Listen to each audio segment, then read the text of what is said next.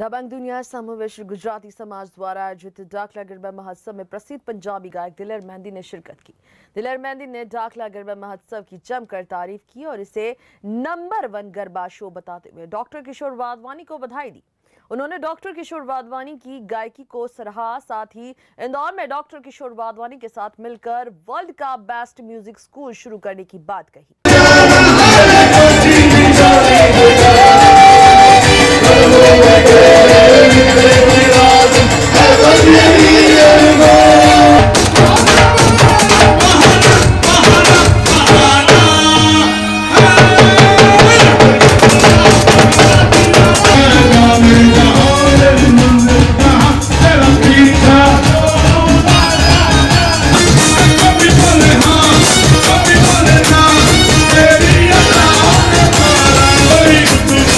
Sky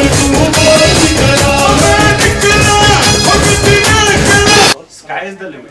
Actually sir बताएँ आप एक बड़े गायक हैं बॉलीवुड के बड़े। आपका काफ़ी नाम है।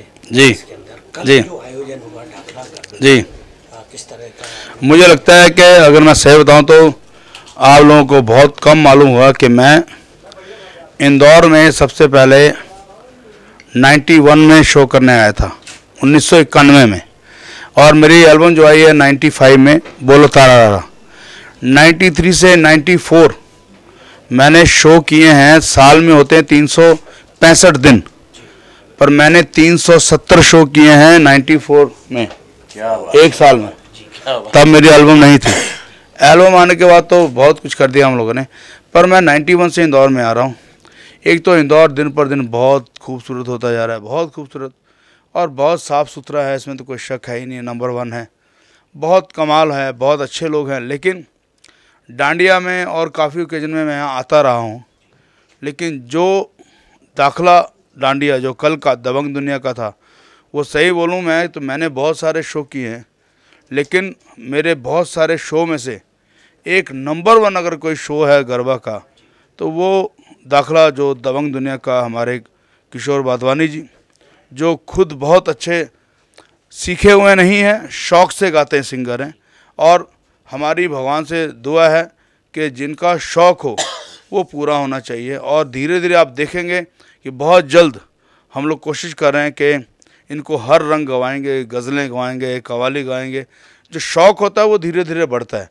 तो रियाज कर कर के कर कर के आगे बढ़ेंगे। तो कल इन्होंने साहब इतनी रौनक लगाई साथ में, लोग इतने दीवाने इनके। और बहुत अच्छा लगा। हमारे उस्मान भाई हैं, जो कि बहुत कमाल म्यूज़िक डायरेक्टर हैं। अभी बहुत नया गाना आ रहा है, गबरू गैंग का, गबरू गैंग फ़िल्म आ रही है। तो ये भी साथ में थे। और क्या जनाब वहाँ पे अरेंजमेंट क्या लाइट एंड साउंड और आप यकीन कीजिए कि मैं एक दिन पहले भी मैंने शो किया है, वहाँ पे भी बहुत अच्छा शो था। और पर लोगों का ये कहना था कि कल का शो हो नहीं सकता। क्यों नहीं हो सकता? क्योंकि बारिश इतनी कल सुबह हुई, लेकिन जनाब इतनी बारिश होने के बावजूद वहाँ पे ऐसा लग रहा था कि बारिश एक बूंद नहीं पड़ी है। लोग इतने ज़्यादा उमड़े पाँच लाख सत्रह हज़ार लोग, ये छोटी मोटी बात नहीं होती है। तो मेरी लाइफ में बहुत बड़ा शो था, बहुत मज़ेदार शो था, और मैं बहुत बहुत थैंक यू करना चाहता हूँ इंदौर वासियों का, प्रशासन का, और हमारे बड़े भाई किशोर बादवानी जी का और दबंग दुनिया का और सारी मैनेजमेंट सारी टीम का बहुत मज़ा आया बहुत मज़ा आया। और हमने भी कोई गाने में कसर छोड़ी नहीं है क्योंकि जितने भी बॉलीवुड के सिंगर हैं वो ज़्यादा से ज़्यादा गाते हैं पैंतालीस मिनट गाते हैं उसमें से वो अ, किशोर जी के सामने तो कोई छुपा नहीं है वो ट्रैक लगाते हैं और मुँह हिला के लोग गाते हैं इन्होंने देखा है लोग कैसे करते हैं। तो हमने सारा का लाइव बारह बजे शुरू किया था मैंने कहा पौने दो बजे तक। उसके बाद फिर किशोर जी ने कमांड संभाली कहते हैं फिर वो रात भर चला शो। तो बहुत अच्छा लगा और हमारी बहुत सारी दुआएँ। आपको गाने का ही शौक क्यों है? कब से आप गाने मेरा पाँच साल की उम्र से हम गाना गा रहे हैं और पाँच साल की उम्र से ही था कि हमने कुछ बनना है। तो हमारा एम यही है जो मेरे बच्चे आवाज़ सुन रहे हैं जो कुछ बनना चाहते हैं माइंड में फोकस रखिए। आप सब कुछ कर सकते हो अगर आप ठान लें हमने ये करना है।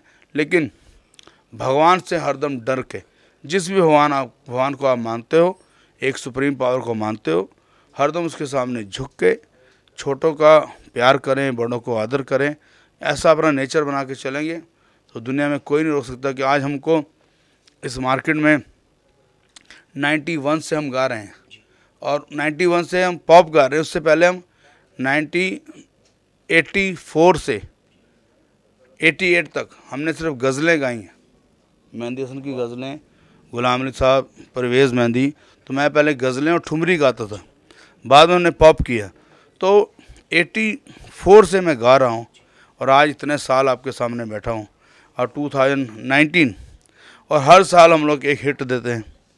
तो ये ऊपर वाले का करम है। बाहुबली हमने तीनों लैंग्वेज में गाया, तमिल, तेलुगू और सारे बच्चा बच्चा जानता है। तो हर नई पीढ़ी को किस तरह जो लोग गा रहे हैं, नए बच्चे हैं, वो आगे नहीं बढ़ पाते। नए बच्चे जो हैं, हम लोग बहुत जल्दी वर्ल्ड में सबसे अच्छा म्यूज़िक स्कूल जो है, वो हम लोग शुरू कर रहे हैं किशोर बादवानी जी के साथ इंदौर में। इनका बहुत खूबसूरत, बहुत अच्छा स्टूडियो बना हुआ है।